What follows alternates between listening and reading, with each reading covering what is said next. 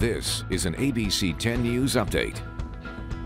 Hello everyone, I'm Aaron Dickens with this ABC 10 News update.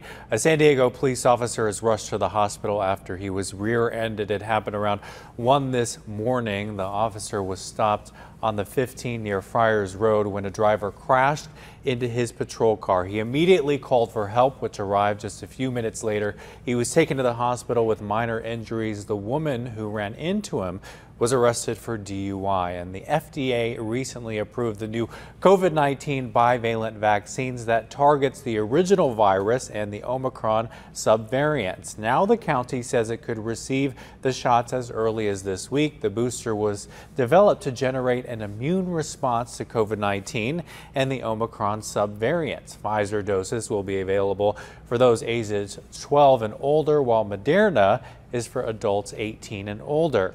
And San Diegans once again are being asked to conserve power as we continue to deal with this long heat wave. SDG&E says today and tomorrow have the highest likelihood of power outages.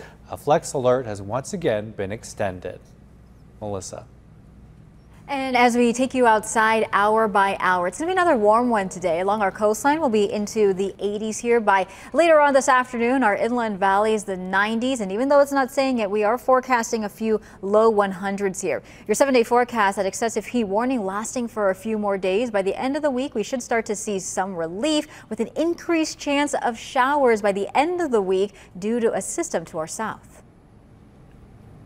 And for more news, the latest news, weather, traffic, go to 10news.com or download our free 10 News mobile app in your app store. Aaron Dickens, 10 News.